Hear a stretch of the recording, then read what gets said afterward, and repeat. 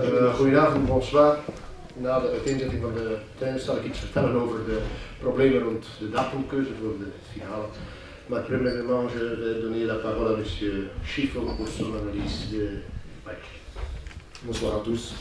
Ben, premièrement, euh, je veux féliciter Bob pour, le, pour, la victoire, la qualification. Je pense que voilà, il y a eu euh, deux confrontations euh, intéressantes, deux matchs à configuration totalement différente. Là, au match aller, comme je l'avais dit, on a eu des possibilités pour, pour battre cette équipe.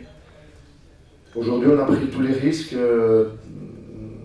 pour évidemment réaliser quelque chose aujourd'hui. Je pense que la première mi-temps a été euh, de bon augure. Hein. On, a, on, a, senti qu'il y avait des possibilités. On a marqué ce but et on pouvait peut-être euh, marquer un deuxième, mais c'est là qu'on n'a pas su, je dirais, véritablement faire la différence. C'était en première mi-temps. Deuxième mi-temps, bizarrement, on a donné des possibilités trop, trop faciles à notre adversaire. Je n'ai pas compris le premier but. Euh, sur une action anodine, euh, donner l'ouverture euh, devant notre but, chose que on travaille, hein, qu'on essaye de ne pas commettre comme erreur. Et puis le, deuxième sur phase réglée, où euh, voilà, on a, négligé un petit peu les,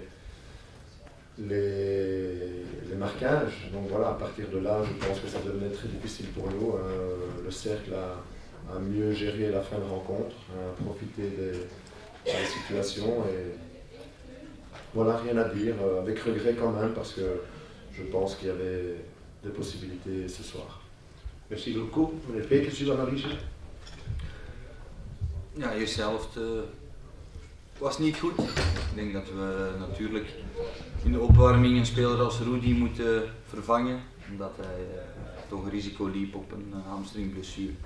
Oké, dan zet je Kevin Janssens die natuurlijk iets beter tot zijn recht komt op nummer 10. Maar doordat aantal mensen van voor niet beschikbaar waren, wordt de spoeling natuurlijk dan,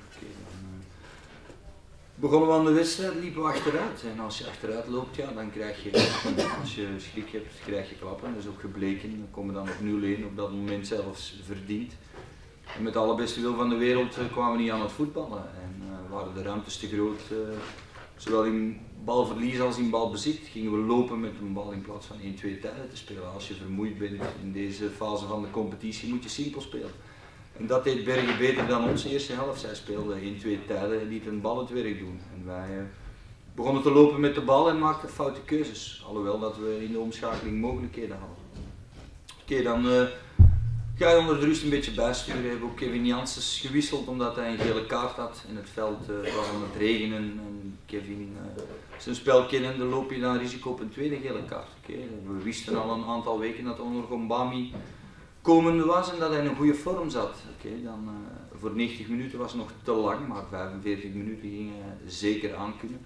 Dat heeft hij ook bewezen. En uh, onze driehoek in het middenveld heeft ook druk naar voren gaan zetten, heeft een man in balbezit onder druk gaan zetten. En dan zag je dat Bergen het moeilijker kreeg en niet meer aan het voetballen kwam. En dan uh, ja, maken we 1-1 na een mooie combinatie en dan 2 en 3 1 en op dat moment eh, was de wedstrijd gespeeld.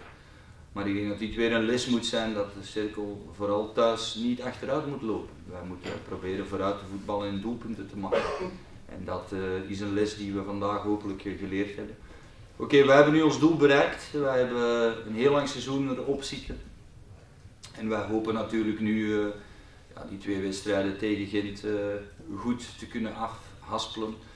Maar er is één verschil, zij moeten en wij moeten niets. Wij kunnen vrij voetballen, wij hebben nooit gezegd dat we Europees voetbal willen spelen.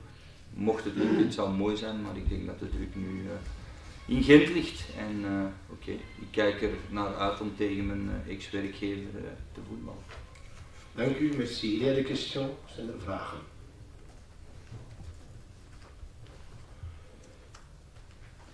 Niemand? dan kan ik u zeggen dat wij dus eh, in een volkomen padstelling zitten voor de datum van de wedstrijden, omdat ook eh, meneer Van Brandtegem is er mee bezig.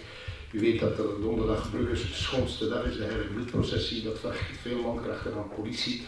Dus de Brugse overheid wil um, op dit ogenblik niet dat er donderdag wordt gespeeld. Zij stellen vrijdag voor, ehm, daar uh, heeft geen van de beide ploegen zin in, ook zeker ook Genk niet. En dan uh, zondag is er een heel korte periode en daar kennen de trainers en spelers weten dat het gevaarlijk is op zo'n korte termijn twee wedstrijden afhaspelen. Dus we zitten compleet vast. We hopen dat we daar vannacht of morgen een oplossing voor vinden. als je in deze fase van de competitie twee wedstrijden in 48 uur gaat spelen, dan uh, loop je kans om met drie de wedstrijd te beëindigen. Dat is uh, volgens mij een risico dat je op dit moment niet mag nemen. Met alle respect voor de bloedprocessie. We kunnen natuurlijk vragen aan de bischop dat de processie wordt verlegd en langs het breidelstadion met de reliquie passeert. Maar dat is nog een andere mogelijkheid. Of een wedstrijd in één keer, neutraal terrein met Club Brugge bijvoorbeeld. Oké, okay. goed, u zult het zo snel mogelijk van ons vernemen. En, uh, Klopt het dat de tijdstip van de Brugge-match wel definitief vaststaat? Dat... Ik uh, hoor dat dat zou blijven op zondagnamiddag. Daar zullen waarschijnlijk ook tv-rechten mee gemoeid zijn en zo. Het is echt moeilijk. Ik dank u voor uw aanwezigheid en ik hoop uh, u een van die dagen terug te zien. Thuis.